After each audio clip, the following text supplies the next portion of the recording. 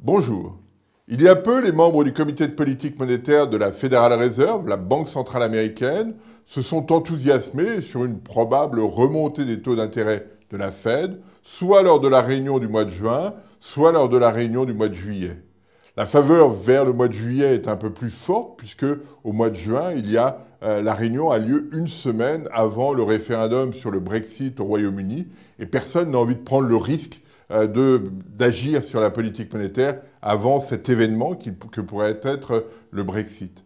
Néanmoins, euh, la remontée des taux d'intérêt est conditionnée par le fait que l'économie américaine va bien. C'est ça l'élément clé. La politique monétaire est, comme le disent les Américains, data dependent, dépendante des données économiques. Et il faudra qu'au mois de juillet, les données économiques soient robustes pour remonter les taux d'intérêt.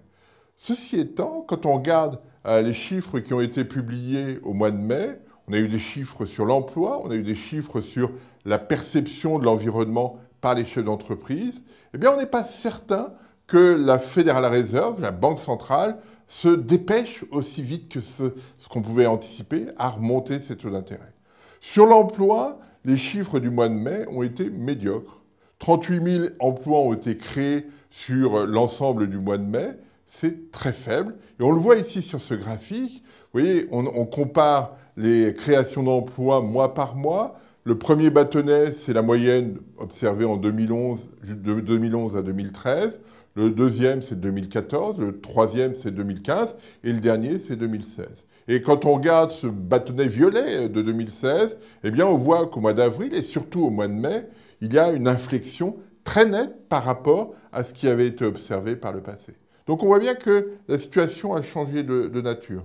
Si on regarde la moyenne des créations d'emplois sur les cinq premiers mois et qu'on compare euh, aux cinq premiers mois de 2015, de 2014, eh bien, on le voit ici sur ce graphique. On était généralement un peu au-delà de 200 000 emplois créés en moyenne par mois, 219 000 en moyenne au cours de l'année 2015. Sur l'année 2016, on n'est qu'à 150 000 emplois. C'est-à-dire que la conjoncture apparaît nettement moins robuste que euh, ce qu'on pouvait imaginer, et, les chiffres du mois de mai pèsent très lourdement là-dessus. Alors évidemment, sur le mois de mai, il y a une grève chez Verizon, euh, l'opérateur téléphonique américain. C'est à peu près 35 000 emplois qui n'ont pas été intégrés. Il n'empêche que, même si on rajoute ces 35 000 emplois, ça fait très peu par rapport à ce qu'on avait l'habitude d'observer. Et puis on constate que le marché du travail américain n'a pas l'allure, ne crée pas de, de tension particulière.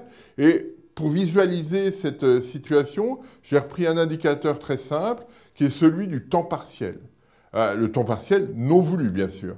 Et on voit ici sur le graphique euh, qu'effectivement, au mois de mai, ce temps partiel non voulu sont des gens qui euh, travaillent à temps partiel, mais qui voudraient avoir un emploi à temps plein, eh bien cet emploi à temps partiel augmente de façon significative. On le voit bien euh, sur le graphique. Ça veut dire que le marché du travail n'est pas encore à l'équilibre et, probablement en, est assez loin, même si le taux de chômage a baissé à 4,7%. On a un indicateur de taux de chômage très faible, mais quand on regarde dans le détail, on s'aperçoit que le taux d'emploi, c'est-à-dire l'emploi total sur la population de plus de 16 ans, euh, diminue. On voit qu'il y a effectivement une incertitude sur les gens qui sont à temps partiel, qui, euh, dont le, nombre augmente de façon significative. Et puis on, voit, on ne voit toujours pas de tension particulière sur euh, le taux de salaire, 2,5% au mois de mai.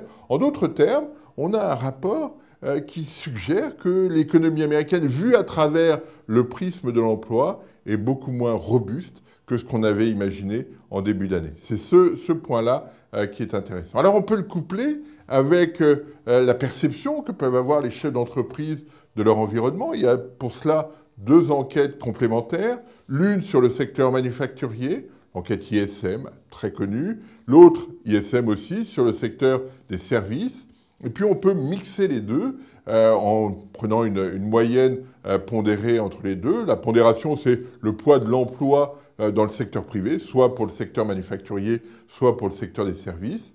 Et on voit bien qu'au mois de, mai, cet indicateur ralentit de façon significative. On le voit ici sur le graphique. Vous voyez que vous avez ici le, cet indicateur ISM global qui est à 52,6.